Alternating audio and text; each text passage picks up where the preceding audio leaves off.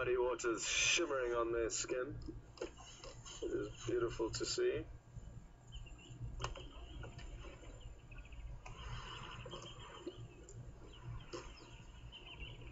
And those individuals out in the dam drinking, they've obviously disturbed those catfish that we were, we were viewing earlier, but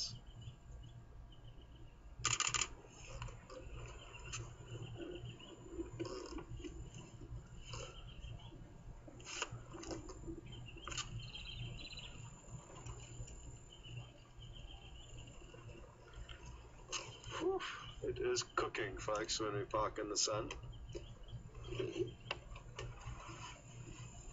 So you can understand why these Ellies are really enjoying their mud bath so much. Because it is hot out here. She's gone back to that same itch that she had earlier on her which is quite interesting.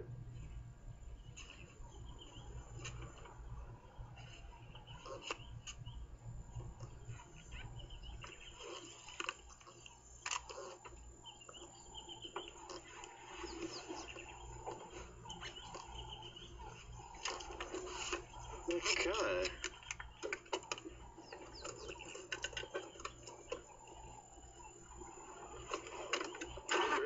The fact that we've got to witness this whole event unfold, this whole process of them starting off with the mud wallowing and then gradually moving on to this little wallow here. I'm not sure exactly what she was doing, but she certainly was intent on getting some of the liquid out of that hole.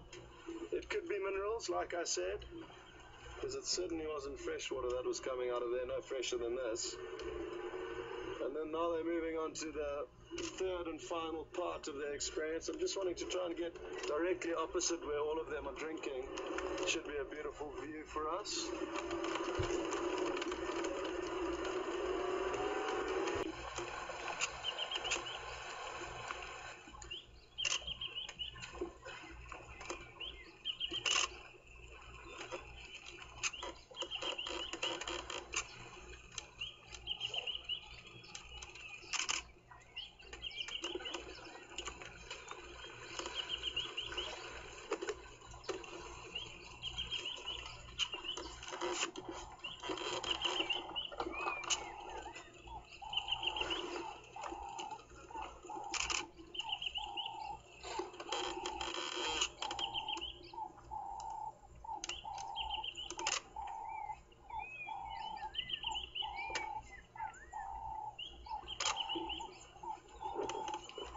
Turtle Dove singing its heart out in the background. An interesting question has just come through from Mark asking whether a snake can take down an elephant with one bite. Now, I would firstly like to say that the skin on an elephant is very thick, so even if a snake were to bite an elephant, I'm not convinced that its fangs would penetrate deep enough into the skin for its venom to get into the blood system. If it did, however, it would need um, it would need to have injected a lot of venom into the elephant in order for it to have any effect because they're such big animals. Um, so the chances of an elephant being killed by a snake are very small, even the most venomous snakes, and we do have some highly venomous snakes in this area. Um, but possibly baby elephant with thin, softer skin would potentially run into trouble with a snake bite, but I would find it unlikely that a snake would be able to kill an elephant. It is always interesting to wonder though what could happen and what has happened because there is so much unknown in nature. So, especially with these kind of scenarios, it could well have happened, like I say. Uh, well, now it appears that another herd, or potentially a small part of this herd that we have just viewed, but there is another herd of elephants on the way. So we are going to get ourselves back into position for round two, potentially, with elephants and drinking. Um,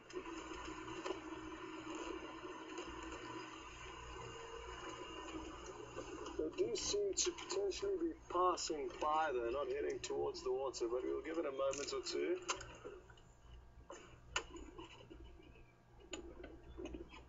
But a lot of strange things do happen in nature, Mark, and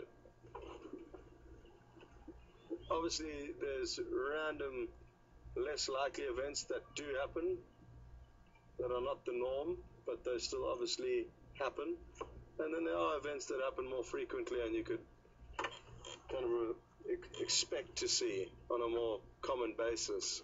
Um, a snake killing an elephant would be one of those random outliers that you would not likely witness or, or experience in a lifetime in the wilderness.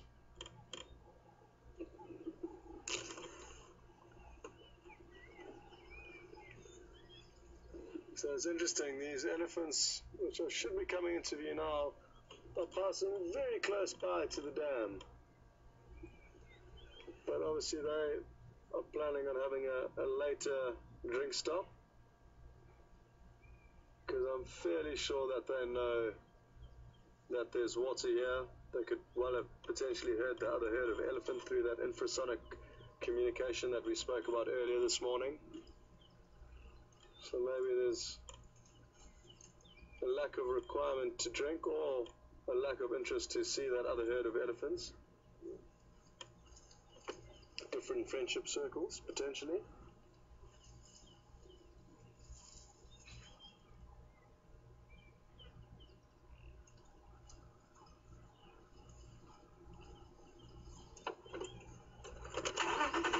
Joe McDowell on Twitter, good morning and welcome.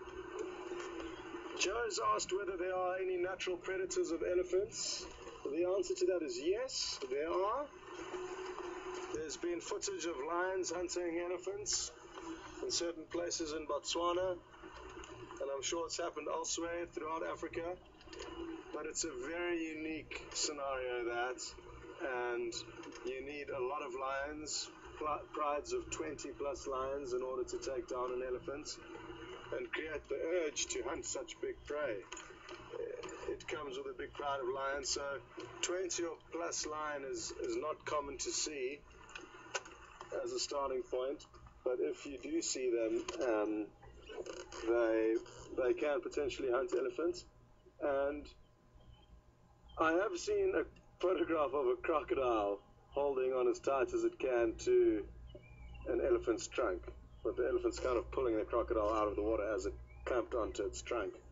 I think that crocodile was just taking a chance, but a big crocodile could easily take down a baby elephant.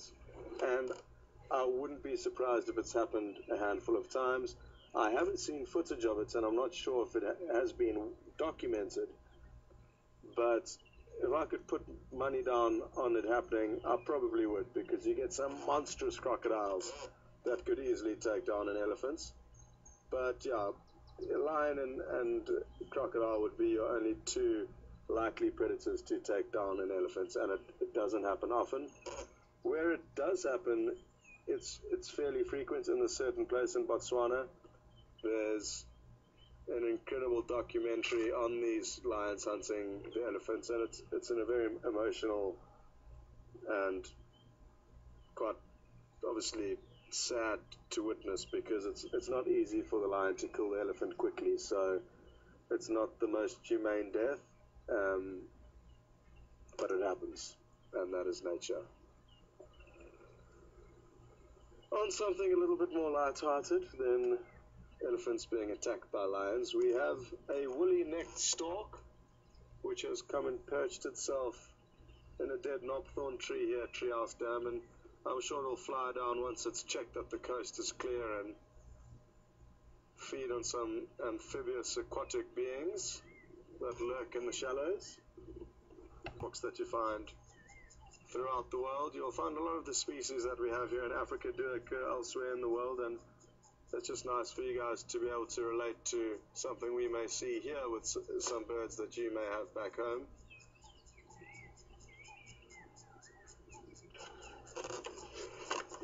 Okay. 20 minutes left, folks. Let's keep the wind in our faces and see what we can find.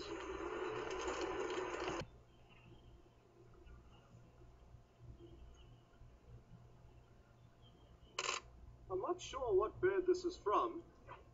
It could be a vulture. It could well be a vulture. So that is what I would like to guess, but I'm not 100% sure. Now, our next task is to find somewhere to put them so that they can guide us in the right direction.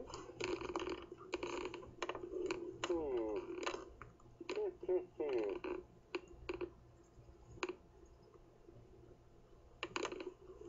we'll see how that does for now.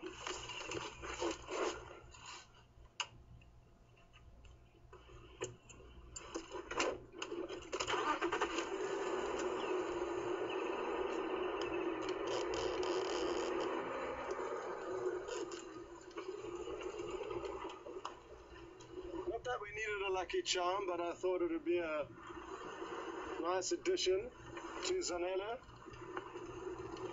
She's a lady and she does need pampering. And she does like decorating herself, so this is a small start in the right direction.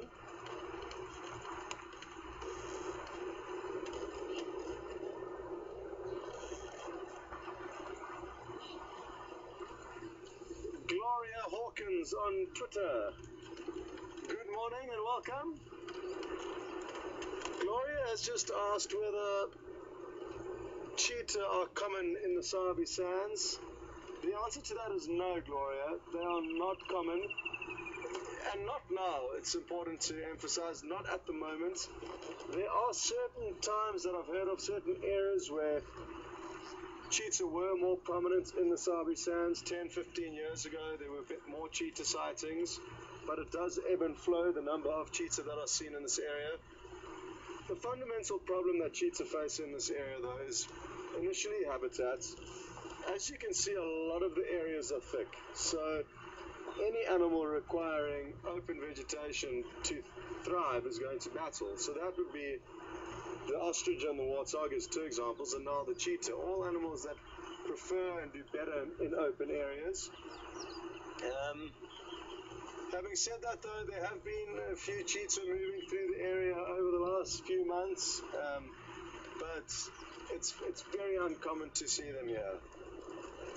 In three and a half years that I spent in the Sabi Sands, not exactly here, further south from here, but similar vegetation, on average, in a six week working cycle, you would see cheetah once or twice the most as an average statistic. So, relative to the amount of times you're seeing lion and leopard, cheetah are highly uncommon here, which is a pity um,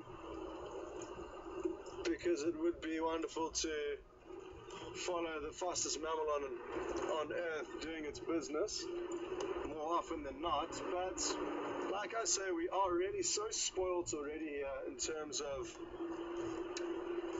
big five. Not that that's important, but the animals do include the lion, leopard, elephant, buffalo, and rhino. So those animals are quite prominent here, and we do enjoy really good sightings of those animals. And out of all of those animals, the leopard especially is the one that stands out from the rest because the leopard is a very shy and elusive animal typically, and there's lots of places in Africa where leopards occur, but they are not seen.